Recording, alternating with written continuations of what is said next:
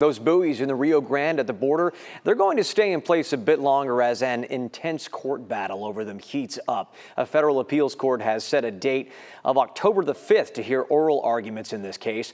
The floating barrier was deployed in the Rio Grande River by Texas Governor Greg Abbott, part of his border security initiative, Operation Lone Star. Last week, though, the appellate court ordered a temporary freeze in the case after Texas requested a stay. The freeze came just 24 hours after a U.S. district judge judge ruled that the White House could order Texas to remove the buoys covered in razor wire. In July, the Justice Department sued Texas over the floating barrier. The DOJ had argued Abbott installed them without authorization from the feds.